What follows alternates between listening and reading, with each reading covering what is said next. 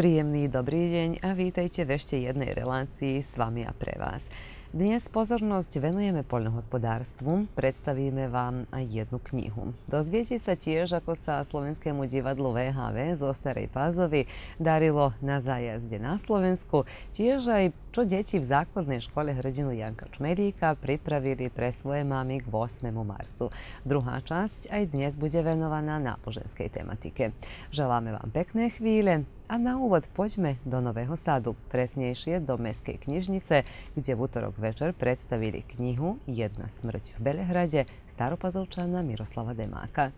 Kniha Jedna smrť v Belehrade je zbierka poviedok, v ktorej sú rozprávky z doterajších dvoch kníh Miroslava Demáka a niekoľko nových, ako je aj titulná, ktorá je exkluzívne pred originálom po slovensky zverejnená po srbsky. Nápad, že vydať knihu, vznikol pred viac než dvomi rokmi mi v Bratislave, ale bol, bol taký úplne hmlistý, vydáme ti knihu, a Kovic mi to povedal, no ale, ale na Belehradskom veľtrhu v októbri minulého roku, teraz, e, sme sa rozhodli, kniha má výjsť do konca roka maximálne do polovice decembra. Tak v momente sme sa vrhali na prekladanie Zdenka, na prekladanie niektoré veci, proste ani ona by nestačila, tak som ja niečo preložil. Aj som dopísal tú jednu poviedku, na ktorú ma pán Kojic vlastne prinútil, lebo jemu sa stále zdalo málo to, čo som ja vybral. Ja som bol trošku prísnejší k sebe, aj som rád, že som bol prísnejší k sebe, že som vyradil niektoré poviedky, ktoré myslím, že takom výbere by nemuseli byť. No. Kniha tlačov vyšla vo vydaní Mestskej knižnice Nový sad v rámci edície Prevody ako 8. kniha v poradí. Cieľom tejto edície je predstaviť literárnu tvorbu v jazykoch národnostných menšín vo Vojvodine, ako aj prekladateľov z tých jazykov, povedala Zdenka Valentová Béliťová, prekladateľka zo slovenského na srbský jazyk. Do sada u ovoj ediciji su izašle e, knjige Irine Hardi-Kovačević, Ištvana Brašnja, Ištvana Nemeta, e, Trifuna Dimića, Vićozaslava Hronca ovde prisutnog i e, naravno Miroslava Demaka. Objavljivanje ove knjige u toj ediciji je tako, kako da kažem, prirodan korak, tako reći, bilo je neminovno i na taj način ona zapravo upotpunjuje tu ediciju. Miroslav Demák, novinár, básnik, prozaický a dramatický spisovateľ a prekladateľ. Zastúpený je v 28 antológiách básní a 6 antológiách krátkej prózy.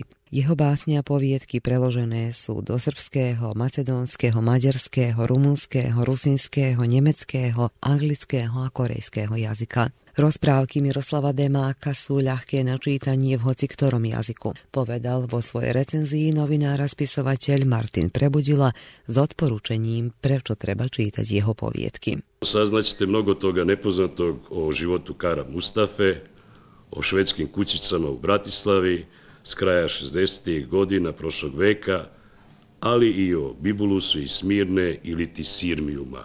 Ovo je knjiga kao pokabana torba smirenog putnika puna dobrih priča koje, se, koje se događaju nekada davno, nekada pre nas, u naše vreme i u vremenu negde posle nas.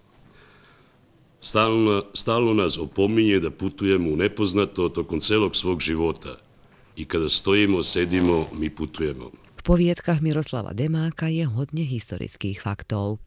Ja považujem vôbec za jedno z najdôležitejších udalostí v dejinách, povedzme novodobých dejinách, tu posledné obliehanie Viedne roku 1683. To je najsevernejší bod, pokiaľ Turci prišli.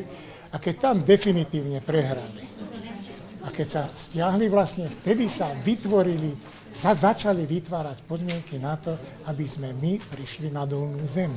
Nebyť toho, keby však hm, Turci boli 180 rokov, sedeli v Budíne, no. bol pašalík budínsky, no keby tam boli, tak sa ani Slováci, ani Nemci, ani Rusíni nestiahujeme na dolnú zem. No ale vďaka tej porážke a potom ďalším, čím týmto lebo to tam bolo potom bitka pri Sente, veľmi dôležitá, pri Slankamene, mimoriadne dôležitá a o chvíľu bude 300 rokov bitky pri Petrova radine, o ktorej tiež treba niečo povedať, lebo je to veľmi zaujímavé. A ak môžem trošku, len trošičku dlhšie byť v tom, že v čom je to také zaujímavé, že tam to je jeden z dôkazov, kde umenie zmenilo dejiny. Zmenili dejné povedomie. Všetci vedia, že že toho 5. augusta, ako, je to ako historický fakt, že 5. augusta 1716 sa Turci zmrzli pri Petrovaradení a preto prehrali bitvu. Vôbec to nie je pravda. Lebo sme vo Viedenskom archíve sa našli správa tajomníka, adjutanta, čo sa hovorí, Eugena Savojského, ktorý napísal, že bitka sa skončila o 10. pred obedom a bola taká horúčava, že sme sa všetci schovali v tieni stanov. Autor prečítal aj úryvky z dvoch poviedok. Odložil som molitvený cilin, pa ponovo kleknuo ovoga puta na golo tlo. To su mi dozvolili. Tako će moje mrtvo telo da padne u prašinu kako i priliči da umre ratnik. Sam sam jednom rukom podigao bradu da ispod nje lakše provuku svilen gajtan, da bi ga omotali oko moga vrata. Možda ću uskoro da saznam zašto je Allah okrenuo svoj pogled od mene te nedelje 12. septembra. Na Slovensku je srbská literatúra zastúpená vo veľkej miere, hovorí Demák. Po e, Rusku najviac prekladov zo srbskej literatúry je v češtine a slovenčine. Slováci čítajú po česky ako ako, ako aj po slovensky. Na rozdiel od Čechov, ktorí už slovenské preklady nečítajú. Ale Slovakom je to jedno. Takže keď sa spolu dá české preklady a, a slovenské, tak srbská literatúra je mimoriadne dobre, zastúpená na Slovensku. E, vojvodinskí autory konečne už konečne Slovensko ich začalo chápať, nielen vojvodinských, ale aj Slovákov z Rumúnska, čo je z Maďarska a exilových autorov, ako súčasť slovenskej literatúry. Čo je aj normálne. Jazyk, v ktorom je dielo napísané, patrí do tej literatúry bez ohľadu, kto je aký, akého pôvodu. Z druhej strany slovenskí autory sa veľmi málo prekladajú do srbčiny, kým sú menšinoví autory takmer neprítomní, ako tu, tak aj na Slovensku, považuje Zdenka Valentová Béličová. Donedávno to ani nebolo tak veľa. Eh, ja to som to už viackrát spomínala, že keď som sa zamestnala v Mestskej knižnici pred desiatimi rokmi, eh, tak eh, keďže som študovala Slovenčinu, prvá otázka bola, a kde sú tie slovenské knihy? Teda zaujímalo ma, že to, čo som ja študovala, že čo z toho môžem odporúčiť našim čitateľom a takú paličku sme nemali. Teda takých kníh nebolo vôbec. Niekoľko prekladov bolo Michala Harpáňa, on prekladal Vilikovského a zo pár starších prekladov, povedzme Dominika Tatarko Prúčené kresla a Sklený vrch a potom ešte e, zo pár diel, ale ako by som povedal, zo staršej literatúry. Teda e, ja sa tým prekladom zaoberám už 15 rokov a e, preložila som 18 kníh.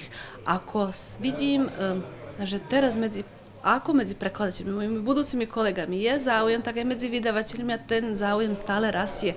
A menšinoví autory sú takmer neprítomní ani sem, ani tam. Však a takéto knihy sú dobré, lebo ich zviditeľnia aj širšiemu publiku. Miro Demák, aj keď je prítomný takmer 50 rokov v literatúre a to e, teda píše ako po slovensky, tak aj po srbsky, ako menšinový autor pre širšiu verejnosť, pre bežného čitateľa je takmer, e, tak, srb, bežného, či, srbského čitateľa bol takmer neznámy. Kniha Miroslava Demáka Jedna smrť v Belehrade vyšla v Srbčine. Hlavný a zodpovedný redaktor knihy je riaditeľ Mestskej knižnice v Novom Sade Dragan Kojič, od ktorého sa aj zrodila idea pre jej zverejnenie. Kniha je vždy dobrým výberom, ako stráviť voľný čas. Voľný čas je však niečo, po čom budú túžiť najmä poľnohospodári, pretože blíži sa nám jar a pred nimi je aj jarná sejba. O tom a o ostatných aktualitách, ako aj problémoch v poľnohospodárstve dnes sa rozprávame s Jaroslavom Fábrim, predsedom Staropazovského združenia poľnohospodárov a Jankom Ďurčíkom, tajomníkom tohto združenia. Dobrý deň a vítajte. Dobrý deň aj vám želáme. Staropazovské združenie poľnohospodárov, teda miestne združenie. My sme aj mali asi pred 4 rokmi, bolo založené miestne združenie poľnohospodárov. Ono prerastlo do obecného, ale miestne aj naďalej pôsobí, tak? Áno, presne tak. Pred 4 rokmi na podnikanie totižto iniciatívu niekoľkých poľnohospodárov založené e, Združenie poľnohospodárov Stará Pazova ktoré pracuje aj dnes. Aj dnes. Minulého roku založené je obecné Združenie poľnohospodárov, kde máme svojich predstaviteľov. Naše združenje sa zaklada na pokroku v poľno, všetkých oblastiach poľnohospodárstva, ochrane životného prostredia, pokroku a záujmov poľnohospodárov a všeliečom ešte inom. A čo konkrétne očakávate vy a ostatní poľnohospodári, čo konkrétne môžu očakávať od tohto združenia? V spolupráci so všetkými inštitúciami, čo sa týka poľnohospodárstva, poľnohospodárstva lokálnej samozprávy. Konkrétne je tu e, úprava chotáru, keď ide o rovnanie poľných ciest, keď ide o ničenie ambrózií, potom keď ide o tie edukačné veci, znamená, budú sa organizovať prednášky, ako čo sa aj doteraz organizovali. Znamená, aby som nezabudol to spomenúť, ale možno, možno voľakeri poľnohospodári očakávali veľa viac od združenia. Uh, ja to myslím zdôrazniť, že sme my nekomerčné združenie, že my nemáme uh, právo na to, aby sme kupovali osivo, aby sme kupovali hnojivo alebo možno e, palivo. Ale predsa niektoré, niektoré z týchto vecí môžeme sa zorganizovať. A e, máme člena v tomto združení, ktorý práve má najnovšie údaje z berze, kde sa ponúkajú osiva a, hnojiva napríklad. Janko spomenul aj e, spoluprácu s lokálnou samozprávou, tak aká je a akú pomoc od lokálnej samozprávy očakávate? Od samého založenia našeho združenia nadviazaná je spolupráca s lokálnou samozprávou, ktorá aj ďalej jestvuje. Očakávame ešte väčšiu pomoc e,